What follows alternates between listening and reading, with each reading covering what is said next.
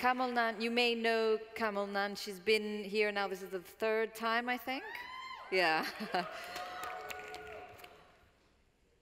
Over to you. Thank you, Queen, for your courage in sharing your story. My name is Kamolnan Chearavanont. I am from Thailand. I'm the co-founder of Voices Foundation for Vulnerable Children, especially orphans and stateless children. The voices of vulnerable children are too often lost due to their lack of understanding of what has happened to them, trauma, or simply because they're just too, long, too young to be able to put it into words. A heartbreaking addition to Queen's story is that she, as a nine-year-old girl, felt guilt and self-blame for her four-year-old brother to have witnessed the abuse, who consequently went through a series of mental health issues. And from the brief amount of time that we've gotten to know each other, as a friend, I am so proud to say that today, her brother is no longer going through those issues, and Queen is no longer guilty.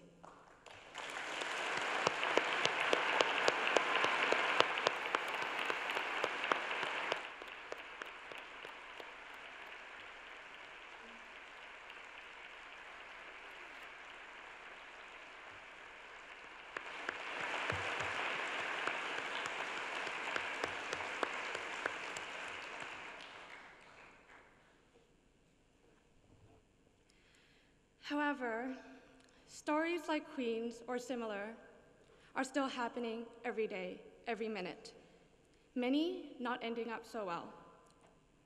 We work closely with infant orphans to provide them with human connection and care so that they do not grow up feeling unloved or invisible and end up acting out abusively. Both the resilience that survivors have and the aggressions that abusers have are often related to the care and human connections they were afforded or not afforded growing up.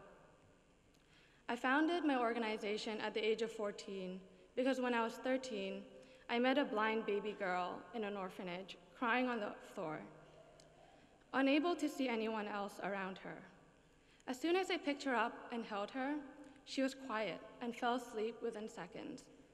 In that moment, I realized if just the smallest act could make that baby girl feel safe, much more could be done. I was touched and empowered by her.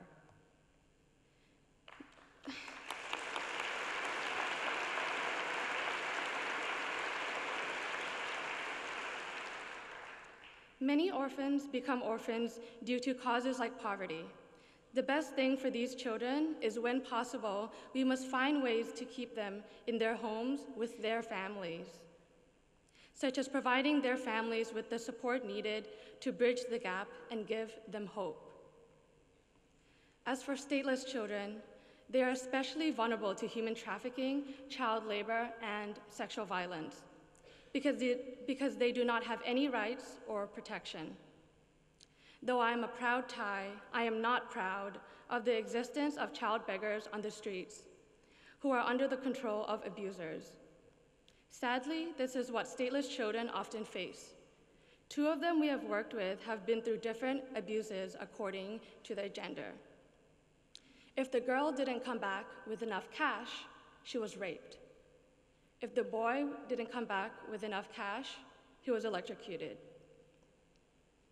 the damage done to these children, emotionally and physically, has affected them ever since, and sadly, probably throughout the rest of their lives. These abuses, injustices, and deprivation should not and cannot continue to be the narrative of these children, for children are our future. So, as the name of my foundation goes, I pledge to uplift the lives of vulnerable children, and when not yet possible, I will be a voice for them. Thank you.